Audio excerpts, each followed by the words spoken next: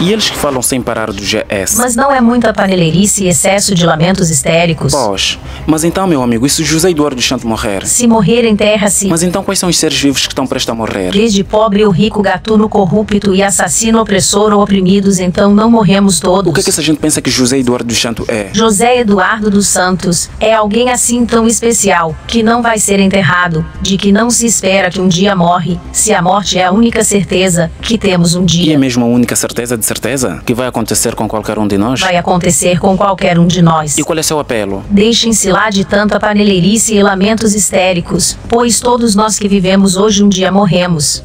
E só contamos depois para a história e José Eduardo dos Santos não foge à regra. Ok, tudo bem. Em poucas palavras, diga-me, se faz favor, o que é que a malta precisa? Precisamos deixar de encarar a morte como se de um acontecimento do outro mundo se tratasse, ou seja, como se fosse algum E fantasma. o que é que farás um dia? Um dia conto-vos a história da miúda, que a morte do seu pai lhe tornou uma jovem mais feliz, e digo mais que nos dera que morressem todos, e que deixassem o povo feliz e em paz. Palavras postada pelo Fernando Vumbi, reproduzida pelo JHM. Minhas senhoras e meus senhores, bem-vindo a mais um vídeo do seu canal predileto. Do outro lado fala José Ebmukish. Meus amigos, hoje tem muitas, muitas, muitas bombas. Então, sem mais rodeios, as embora. Isabela, o que, é que foi que o Dinho falou? MPLA não vai ganhar com maioria absoluta nas eleições de 24 de agosto, diz Dinho Xingunji. O político e presidente do Partido Njango, Partido Nacionalista para a Justiça em Angola, Eduardo Jonatão Samuel Xingunji Dinho Xingunji, fez saber que nestas eleições de 24 de agosto do ano corrente, o MPLA não vai ganhar com maioria absoluta, como aconteceu em 2017. Por outro lado político, acredita alcançar 33 lugares na Casa das Leis. Questionado sobre se haverá alternância política em Angola nestas eleições de 24 de agosto, Dinho Xingunji disse que as eleições de 2022 serão diferentes relativamente às de 2017, em que o MPLA ganhou com maioria absoluta. As pessoas estão mais maduras sobre as políticas do executivo, sobretudo os jovens. Os próprios militantes dos partidos acreditam na alternância política. Neste caso, não vão dispersar votos para outros partidos, que não seja o seu do coração. Estes e outros factos vão ditar as eleições deste ano. Frisou Dinho Xingunji. O antigo ministro da Hotelaria e Turismo, indicado pela UNITA no então Governo de Unidade e Reconciliação Nacional, viu legalizado seu partido pelo Tribunal Constitucional 11 anos depois da criação da comissão instaladora.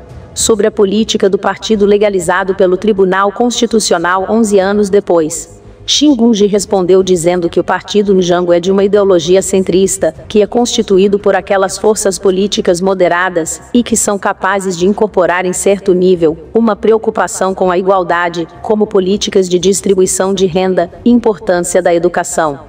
A certidão de reconhecimento do Penjango Partido Nacionalista para a Justiça em Angola foi entregue 23 de maio de 2022. Xingunji fez saber que a criação do partido passou por uma análise sobre os movimentos de libertação nacional que lutaram para o ausência da independência e que posteriormente passaram a ser os partidos angolanos mais sem uma ideologia criada. Por este facto, acharam que tinham de criar um partido com uma ideologia e que pudesse fazer política com responsabilidade sobre a realidade do país. Disse. Sobre a corrupção, o político Dinho Xingunji disse que no partido Njango, todo militante que pratica a corrupção é de imediato expulso da nossa formação política aqui, não pactuamos com a corrupção. Outro assunto abordado ao longo da entrevista foi a posição das mulheres no Partido Njango. Dinho Xingunji afirmou que no Partido Nacionalista para a Justiça em Angola as mulheres têm um lugar privilegiado e gozam de muito respeito aqui as mulheres são respeitadas da mesma maneira que os homens são. Eduardo Jonatão Samuel Xingunji Dinho Xingunji é filho de uma família tradicional na região sul de Angola e que esteve na base da fundação da UNITA, o maior partido na oposição. O líder do PNJango é sobrinho de Tito Xingunji, um notável dirigente e antigo secretário das Relações Exteriores da UNITA. Vamos às outras novidades. Vamos sim, senhora, às outras novidades. Não te esquecem de colocar aquele like, aquele comentário que é da boeda importante. Mulher, filho, o que, que é? Como é que é? Não existe ex-filhos, mas existe ex-mulher. Filhos de José Eduardo dos Santos agiram bem, sim, com a mulher casada. mesmo colocando de parte outros entretantos, e pesares precisamos reconhecer este facto tão claro como a água do rio Bengo. O regime do qual Ana Paula dos Santos recebe ordens nunca foi bem intencional para merecer confiança sua presença junto de José Eduardo dos Santos.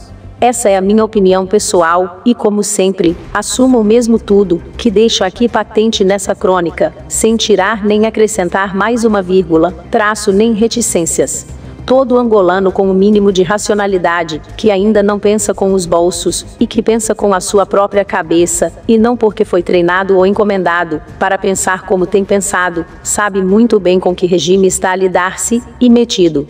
Um regime que negocia até com os homens da medicina no seu próprio país, para vender versões falsas sobre a morte das suas vítimas. Caso Inocêncio foi apenas uma gota num rol de tantos casos até mesmo fora do país. Brasil, Portugal, África do Sul, entre outros. Um regime que ameaça, quando não negocia até com advogados no estrangeiro acionados por familiares das vítimas. Para que não se esqueçam de caso, aconteceu na África do Sul, quando um angolano foi eliminado pelos seus próprios camaradas da secreta depois de ter recebido um telefonema do bofia de plantão na embaixada.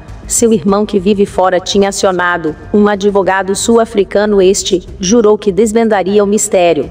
E pouco tempo depois, quando os homens da bufaria souberam, foram negociar com o advogado para abafar o caso, e assim aconteceu, mas esse vos garante, foi apenas uma outra gota no oceano de um regime que persegue angolanos até fora do país, usando em alguns casos até o poder de sedução das miúdas da bufaria, treinadas para se mascararem sob a fachada de apaixonadas pelas vítimas.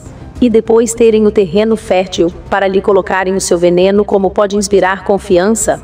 Sou de opinião de que os filhos não devem ter limite nenhum nas decisões sobre a saúde dos seus pais, quando estes já não estão em condições de serem eles mesmos a decidirem, e logo estando em causa angolanos de uma Angola com tantos casos bizarros, onde vale tudo, e o impossível não existe. Onde mulheres eliminam maridos, maridos eliminam mulheres, filhos eliminam pais. Se vendem terreno dos países, quando não os acusa de bruxos por ganância ate de merdinhas com casas podres e heranças, quando não lhes usurpam e lhes esvaziam a conta toda bancária ainda vivo, num país com tantas vidas enguiçadas como consequência de uma gestão criminosa ao ponto de que hoje tudo vale, para se sobreviver ainda assim, nem por isso bem folgado. Eu sou de opinião de que os filhos de José Eduardo dos Santos nem deveriam permitir com que a tal de mulher casada enviada e supostamente treinada vivesse na mesma casa onde vive o seu pai por várias razões. Uma delas até porque a tal relação do casamento forjado, sem namoro antes tudo oferecido de bandeja já, estava mais do que reduzido a zero, sem expressão, sem ação tipo um gato e uma rata, se fazendo piruetas um ao outro fingidamente divertidos. E se a intolerância também tem um lado positivo numa situação como essa, valia a pena sim ser intolerante e jamais permitir que uma mulher que abandonou seu pai agora parecesse, nunca se sabe com que intenção, nem com que missão, para cumprir de um regime que nós todos sabemos ser inclemente sem compaixão e sem remorso, de contrário não teríamos uma Angola hoje feito um escombro onde se constrói riqueza sobre tantos cadáveres eliminados. Ator Fernando Vumbi. Mais uma vez, Engino Carneiro. Meu amigo, se faz favor, não te esqueça de colocar aquele like que é muito importante. Ajuda com que o YouTube mande para outra e mais pessoas. Tribunal fez o que, Isabela? Tribunal Supremo encrava combate à corrupção. Angola continua refém dos interesses das elites, protegidas até poder judicial. O caso do general Higino Carneiro, que, em exercício de funções como governador de Luanda, terá favorecido indevidamente o seu próprio genro, Nuno Lavieter, é um espelho disto mesmo. Foi o próprio Tribunal Supremo quem decidiu pôr fim ao processo judicial antes de se ter chegado a uma verdadeira conclusão. Iniciou-se ontem, em Luanda, o julgamento da Operação Caranguejo, que envolve 49 arguidos, mas visa sobretudo o Major Pedro Lussati, da Casa de Segurança do Presidente da República, detido há um ano na posse de dezenas de milhões de euros, dólares e kwanzas. Lussat e outros funcionários da Casa de Segurança são acusados de 13 crimes, incluindo peculato, associação criminosa de forma continuada, recebimento indevido de vantagens, abuso de poder e participação econômica em negócio. Este julgamento revela em parte as contradições, velocidades desencontradas, incompetências e injustiças do sistema judicial angolano, no que diz respeito ao combate à corrupção. Continua a haver indivíduos que são protegidos pela justiça de forma inexplicável. Vejamos o caso do general Higino Carneiro, declarante no julgamento da Operação Caranguejo. Enquanto era governador de Luanda, o general vendeu o terreno do mercado do artesanato, no Benfica, ao seu genro Nuno Lavieter. Este, por sua vez, trespassou para o agora famoso Major Lussati, com uma procuração irrevogável. A 13 de fevereiro de 2019, a Procuradoria-Geral da República constituiu arguido o atual deputado do MPLA Gino Carneiro, suspeito de ter cometido seis crimes peculato, violação de normas de execução do plano e orçamento, abuso de poder, associação criminosa, corrupção passiva e branqueamento de capitais. Tais crimes terão sido cometidos enquanto Higino Carneiro governou a província de Luanda, de 2016 a 2017. No entanto, as únicas menções encontradas sobre o despacho do Tribunal Supremo, que anulou as evidências apresentadas pela PGR, são curtas e estão na imprensa o Supremo elaborou o despacho de despronúncia e arquivamento do processo movido contra Higino Carneiro, o que liba o antigo ministro da prática dos vários crimes de que era acusado. Qual é a surpresa? Uma questão que se reveste de um tal interesse público deve estar acessível a todos os interessados. E sublime-se o sempre fundamental aspecto da presunção da inocência.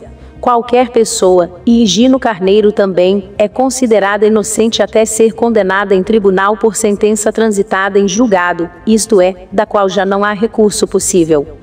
Reafirmado este princípio inequívoco, a história de Gino Carneiro deixa descoberto a aparente inconsistência do Tribunal Supremo na avaliação dos casos mediáticos de corrupção.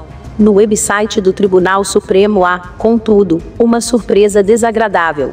Na Câmara Criminal, os sumários mais recentes publicados são de 2018, enquanto os acórdãos completos parecem ser de 2019, com exceção de um acórdão de 12 de abril de 2021, referente a Manuel Antônio Rabelais. Tal facto não permitiu ao MAC Angola ter acesso ao conteúdo do despacho de não pronúncia do general Higino Carneiro, para devida análise da sua fundamentação. Por regra, e como é seu dever, o Tribunal Supremo publica os acórdãos e os seus sumários na sua página digital. Sobre o general Higino Carneiro, é vasta documentação existente. Por exemplo, em 2016 e 2017, Higino Carneiro, enquanto governador provincial de Luanda, interveio pessoal e diretamente na concessão de direitos de superfície a favor do seu genro, Nuno Lavieter. A 22 de novembro de 2016, o general assinou a escritura de concessão de um terreno do Estado com 14.890 metros quadrados, no Talatona, novamente a favor do seu genro, Nuno Lavieter, proprietário da SINL, Sociedade Nacional de Investimentos, com sede em Luanda. No ano seguinte, a 3 de julho, sogro e genro assinaram nova escritura de concessão, respectivamente como representante do Estado e beneficiário. Trata-se do terreno de 4.220 metros quadrados, onde se localizava o famoso mercado do artesanato, no bairro do Partido, Benfica. Detecta-se uma ilegalidade óbvia neste procedimento. Higino Carneiro, enquanto sogro do beneficiário, não poderia de forma alguma intervir no processo de concessão dos direitos de superfície. A lei da probidade pública é clara. No artigo 28º, número 1, proíbe expressamente que um agente público intervenha na preparação, decisão e execução dos atos, quando por si, ou como representante de outra pessoa nele tenha interesse o seu cônjuge, ou um parente em linha reta ou até segundo grau em linha colateral. Segundo investigações do MACA Angola, a SINL serviu apenas como porta giratória para o descaminho deste e de vários outros terrenos da esfera do Estado. A SINL não pagou pelos terrenos, nem os registrou no seu patrimônio. O terreno onde se situava o mercado do artesanato foi transferido, a 19 de janeiro de 2018, para a titularidade privada do Major Pedro Lussati, o grande protagonista da Operação Caranguejo. Nesse dia, Nuno Lavieter emitiu uma procuração irrevogável a Pedro Lussati, reconhecida pelo quarto cartório notarial de Luanda, a quem conferiu poderes para reger, gerir e administrar conforme melhor entender, vender, doar, hipotecar, permitir, dar, tomar de arrendamento e negociar o prédio rústico mercado do artesanato. A procuração também conferiu ao Major Lussati o poder de fazer negócio consigo mesmo. Parece haver poucas dúvidas. A situação exposta configura uma clara violação da lei da probidade pública, uma vez que está vedada a um governador provincial a possibilidade de intervir num procedimento em que está envolvida uma empresa pertencente ao genro. O caso da Privinvest Angola. Há uma outra documentação que diz respeito à famosa Privinvest. Como se sabe, a Privinvest é a empresa envolvida no caso de um empréstimo secreto a Moçambique, no valor de 2 mil milhões de dólares, tendo sido dado destino incerto a tal montante. A 19 de dezembro de 2018, o Tribunal Federal de Nova York acusou várias entidades, entre as quais o antigo ministro das Finanças de Moçambique, Manuel Chang, que será extraditado para os Estados Unidos para comparecer em julgamento. As autoridades judiciais norte-americanas identificaram pagamentos comprovados de 200 milhões de dólares em subornos por via do despacho presidencial número 258/16, de 2 de agosto de 2016, José Eduardo dos Santos adjudicou a Privinvest Cip Building Investimentos LLC um valor de 495 milhões de euros, 495 milhões de euros para fornecimento e manutenção de 17 embarcações militares destinadas à Marinha de Guerra. Em 2019, noticiava-se que a Marinha angolana já teria recebido seis dessas 17 embarcações. Não se sabe a data, o ponto da situação atual do contrato, que teve como interlocutor privilegiado a Privinvest Angola, cujo presidente do Conselho de Administração, 2015 a 2019, foi Nuno Lavieter. Sobre este assunto, apenas se pode colocar uma questão. O contrato foi investigado na perspectiva do tráfico de influências. Isto é, houve alguma troca de promessas ou vantagens para obtenção de uma opinião favorável. Há uma aparente leniência em relação aos atos de Gino Carneiro, alguns dos quais são óbvia e objetivamente ilegais. A intervenção direta em processos do interesse do genro, enquanto governador de Luanda, é apenas um exemplo que contrasta com a severidade das sanções aplicadas noutros processos. É este o problema do Tribunal Supremo e do Poder Judicial em geral. Não tem uma aproximação sistemática e consistente aos casos de corrupção. A maior parte não avança, alguns são mesmo esquecidos, outros são geradores de novos modelos de corrupção. Os que se movem e avançam parecem servir apenas de exemplo e não de aplicação de justiça ao caso concreto. Por Maca Angola. Vamos às outras novidades. Amigo, volto a repetir, não te esqueça de colocar aquele like e deixar aquele comentário. Comentário nem tanto, mas deixa aquele like que é muito importante, ok? Vamos às outras. Não é muita paneleirice e excesso de lamentos histéricos? Com essa, se José Eduardo dos Santos morreu ou não morreu, onde morre tantos homens, mulheres e crianças todos os dias, horas, minutos e segundos e tipo não passa nada, se morreu ou não, isto tem algum impacto na vida dos angolanos vai melhorar ou piorar ainda mais do que já está desde quase 50 anos, em que a morte é o acontecimento mais banalizado oficialmente e virou praxe para os criminosos que governam o país. Se morrer enterra-se, não é assim, como se faz com qualquer ser humano que morre ou José Eduardo dos Santos, é alguém assim tão especial, que não vai ser enterrado, de que não se espera que um dia morre, se a morte é a única certeza que temos um dia, vai acontecer com qualquer um de nós. Desde pobre ou rico gatuno corrupto e assassino opressor ou oprimidos então não morremos todos. Deixem-se lá de tanta paneleirice e lamentos histéricos, pois todos nós que vivemos hoje um dia morremos. E só contamos depois para a história e José Eduardo dos Santos não foge à regra, pois é de carne e ossos como qualquer um de nós, não é mais nem menos que ninguém. Precisamos deixar de encarar a morte como se de um acontecimento do outro mundo se tratasse, ou seja, como se fosse algum fantasma. Vocês já somaram quantas pessoas só conheceram a viver felizes depois que outras morreram? Que lhes impossibilitava de sonhar de ter um sorriso nos lábios, e até impediam com que as suas próprias vidas tivessem algum sentido para elas. Um dia conto-vos a história da miúda, que a morte do seu pai lhe tornou uma jovem mais feliz, e digo mais quem nos dera que morressem todos, e que deixassem o povo feliz e em paz, por Fernando Vumbi. Fernando Vumbi, grato, grato, grato, grato, meu cota. Hoje trabalhamos muito com as tuas crônicas. Meus amigos e minhas amigas, chegamos ao fim de mais um vídeo e obrigado por ter chegado até aqui. Deixou aquele like, aquele comentário, aquela partilha. Olha, ativa o sininho de notificações para seres sempre notificado. Estamos juntos, até ao próximo vídeo, meus amigos.